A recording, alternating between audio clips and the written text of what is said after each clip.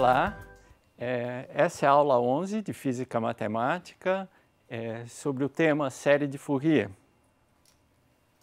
Os assuntos dessa aula serão representação de f por uma série de Fourier, eu darei exemplos e fina, fina, finalizarei com um, um sumário. É, estudamos nas últimas aulas o problema de valor inicial para a condução do calor em uma barra pelo método de Fourier. Obtivemos um candidato para a solução do problema de valor inicial e fronteira em termos de uma série trigonométrica que, em t igual a zero, representa uma função f dada. Pretendemos nessa aula é, e nas próximas é, familiarizar com as chamadas séries de Fourier a fim de responder se ou quando uma função definida em um intervalo de 0 a L pode ser representada por uma série de senos ou cossenos. Para formular melhor essa questão, examinaremos alguns exemplos ilustrativos. Lembramos que essas séries de cossenos e senos é que supostamente representam um f no intervalo 0 e L se estende ao intervalo maior de menos L a L por paridade. Por essa razão, é conveniente nós denotar a série de Fourier pela letra S. Ah, nós estamos olhando essa série de Fourier no ponto X e também essa série de Fourier sempre está é, referida é com respeito a uma função f. Então, a série de Fourier, é, que nós vamos tratar agora, é conhecida como uma série completa e ela deve rep é, re representar uma função que está definida no intervalo de menos L a L. A série contém o coeficiente constante, é, contém os coeficientes do termo cosseno e contém também o coeficiente das, dos senos.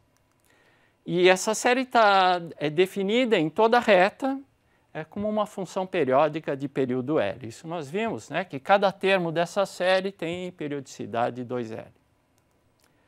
Em geral, a série de Fourier completa representa uma função é, definida ah, entre menos L e L sem paridade. Os coeficientes de de Fourier, de f, nesse caso, deve ser calculados por uma integral que envolve toda a extensão do intervalo de menos L e L, que se refere a um período da função. Os coeficientes, ah, e aqui é que está o coeficiente AN e BN, que entram na série, a zero também, é, eles é, por não ter paridade, por estar definido no intervalo de menos L até L, eles devem ter que ser calculados por uma integral que varia de menos L até L. Então, a integral da função f, no caso de AN, multiplicado pelo cosseno, uh, dividido por L. É, os AN variam de n começando de zero até infinito, os BNs a partir de 1. É, partindo dessas expressões e usando a propriedade que é, a integral é, no intervalo simétrico com respeito à origem de menos L até L de uma função que é ímpar, é, essa integral é da zero e é, a integral de menos L a, a, L de uma função que é par, essa integral pode ser escrita como duas vezes a integral de 0 até L. Concluímos. Se f for par, então o produto de f com cosseno é par. Se f for par, o produto de f com seno é ímpar e, portanto, usando a propriedade que nós acabamos de mencionar, os coeficientes a n, então, podem ser escritos como uma integral que varia de 0 até L, duas vezes o valor da integral anterior. E os coeficientes Bn são identicamente zeros. Se f for ímpar, então a função f vezes o cosseno é um, é um ímpar. f e seno é um par, e uh, os coeficientes AN são identicamente nulos e o coeficiente BN é, aparece duas vezes a integral de, de 0 até L. Observe que ambas expressões coincidem com as fórmulas para os coeficientes das séries deduzidas anteriormente. Observe ainda a implicação no sentido reverso. Uh, se a n, todos os n são dados pela expressão com 2 integral de 0 até L e os bn são zero, isso significa que a função de partida tem paridade par. E, analogamente, o caso a n, todos zeros, bn's, dado por essa expressão, então significa que a função é ímpar. Note que as relações de ortogonalidades obtidas, integrando no intervalo de menos zero e L, inicialmente, na aula passada, nós é, nos referimos sempre ao intervalo zero L, agora continuam válidas essas relações de ortogonalidade para o intervalo menos L e L. Porém, é, para deduzir as, os coeficientes, Além das eh, duas anteriores, devemos acrescentar um, mais uma relação de ortogonalidade. A relação de ortogonalidade que nós precisamos nos referir é uma é, relação de ortogonalidade que agora envolve senos e cossenos. Então, integrando essa identidade trigonométrica, nós é, então é, ah, obtemos que para todo n e m inteiro não negativo, é, essa integral vai ser identicamente zero. Inclusive, n igual a m, no caso, o seno de zero é zero, uh, e o outro termo é, é, zero, porque é integral de uma função que é periódica de período 2L, é, num período, né? e no caso o seno, vai dar zero, uh, essa integral. É por essa razão que temos essa relação adicional. Quando S representa é, uma função, é, nós temos a igualdade da função, então esse, esse sinal aqui está dizendo, ela representa, então temos essa igualdade da função com a série. É, é claro, a, a função está definida apenas nesse intervalo, a igualdade se dá sempre no intervalo de referência.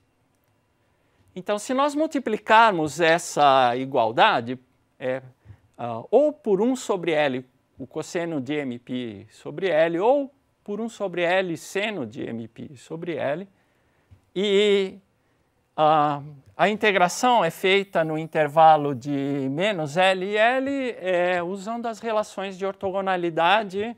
Do lado esquerdo, nós vamos obter a fórmula que é desejada, do lado direito, a relação de ortogonalidade vai isolar o coeficiente é, correspondente.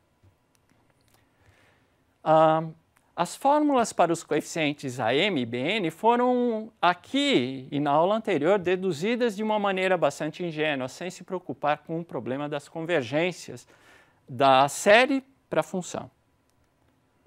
Ah, dizemos que a série de Fourier de f converge para a função f de x se a sequência numérica fixando o valor de x, obtida é, pelas séries parciais, que corresponde a uma soma, uh, bom, a zero, uh, n variando de 1 até um particular n, e n variando uh, nos inteiros. Então a gente diz que a série converge para f se essa sequência das séries parciais tender para a função quando n tende para infinito. A aproximação da função pelas séries parciais pode ser observada comparando o gráfico da função f com o gráfico da função das séries parciais de Fourier. Nós é, estabeleceremos essa comparação entre as aproximações, é, truncando no valor n, é, com a, a, função usando um programa matemática é, que possibilita calcular essa série de forma explícita. É, faremos é, também é, um cálculo, é, previamente, o cálculo dos coeficientes é, relacionados algum, aos exemplos que nós vamos é, mencionar. Bom, começaremos com o primeiro exemplo. O primeiro exemplo é uma função que está definida de menos, uh, menos π até π. Essa é a função f. É, essa função, ela, é, na parte positiva, ela é uma reta. É, em zero, ela se aproxima de meio. É, e ela se anula no valor π. Então, para valores positivos, ela é uma reta com inclinação 1 sobre 2π, e esse, uh, essa razão de x e módulo de x, ela está dizendo que quando nós olharmos é, valores negativos de x, uh, essa razão aqui assume um valor negativo, e, portanto, essa função, em valores negativos, ela continua tendo inclinação me, é, negativa. e é um segmento de reta é, de menos π até zero. É, nós vamos definir no ponto zero da função, nós vamos definir como sendo o valor zero. Então, portanto, essa função é uma função ímpar e nós podemos calcular os coeficientes é, da forma como nós deduzimos é, anteriormente é, para um L é, fixo igual a π. Então, nós temos essa integral é, um, é, no lugar de nós integrarmos de menos π até π, a paridade permite então nós colocarmos o fator 2, integrar de 0 até π. É, o módulo não é necessário utilizar, porque os valores são positivos. Nós temos uma função é, que é a multiplicação de um termo linear por senos. A maneira de nós fazermos a integral é usar a integração por partes. Então, integrando a função seno e derivando a função linear. Então, nós temos é, por partes a função linear vezes a integral do seno, que é menos cosseno sobre nπ. Ah, e aqui nós é, integramos é menos a, a integral de seno, que é cosseno, é multiplicada pela derivada dessa função, é, que vai dar menos π, portanto o sinal aqui é positivo. E, bom, o resultado dessa integral, a gente vê que em π ela se anula, é, em zero ela vai dar o valor que está aqui, e a segunda integral ela vai dar um seno de nπ, é, nx, e em zero e π se anula. Então esse, esse termo não contribui. A série de Fourier, então, ela é uma soma de n até infinito, os coeficientes são dados por essa expressão, uh, e é uma série de senos com um período 2π. Então, aqui nesse exemplo, nós vamos comparar a função que está aqui, os dois segmentos de reta, é, em zero ela vai dar zero, é, coincide com a função, Uh, e a linha laranja é a primeira aproximação, primeiro termo, somente um termo, que é o seno. Então, à medida que nós incluímos termos na série, é, o que acontece é que a função tem esses dois ramos, é, a aproximação então vai tentar pular de um ramo para outro, né, quando ela passa por zero, e ficar oscilando em torno da função. Então, à medida que nós aumentamos o número de termos, ela vai cada vez mais se aproximando da função, mas observe que sempre ela vai ter que fazer essa mudança eh, de um ramo para outro devido à descontinuidade na origem.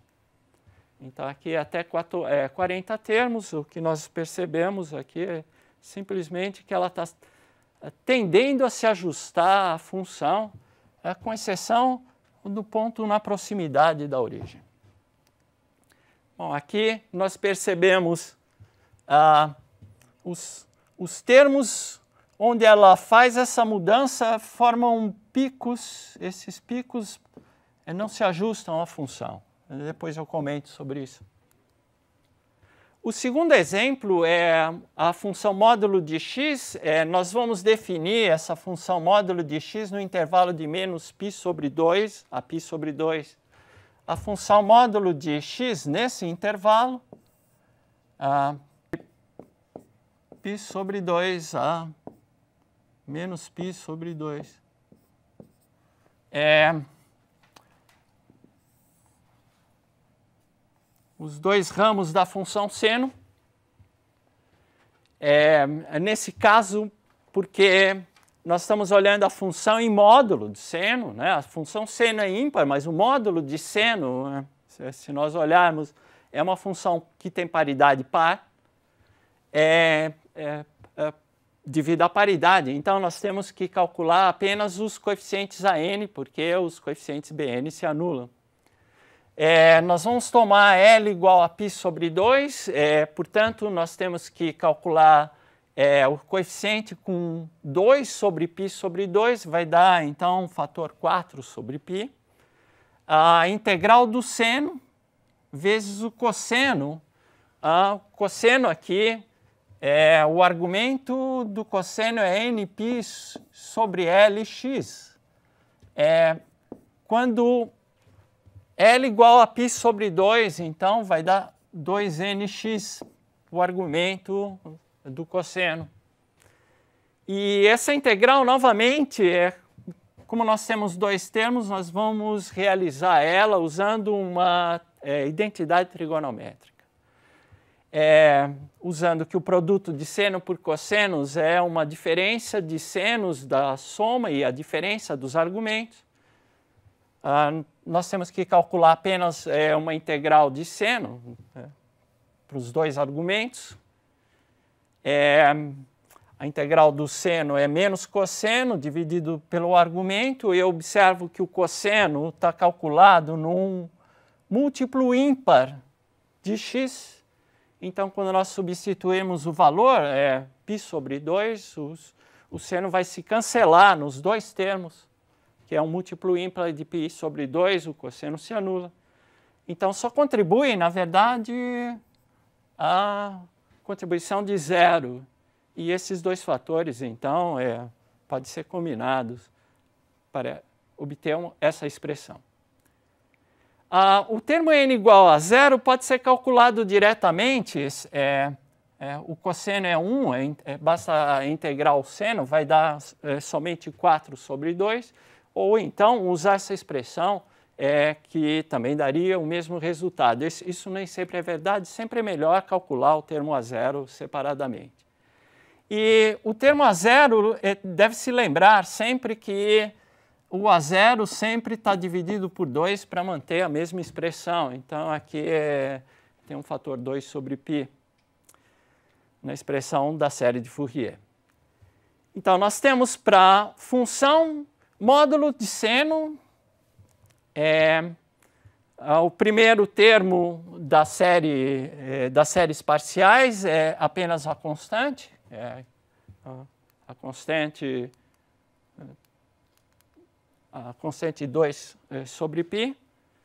Ah, à medida que nós introduzimos é, outros termos, o que vai acontecer novamente, a função vai tendendo a se aproximar da, da função original, né? as, as é, séries parciais vão tendendo e a gente observa que o ponto que é, demora mais para se aproximar é esse ponto que tem um bico é correspondente às derivadas é, diferente de zero.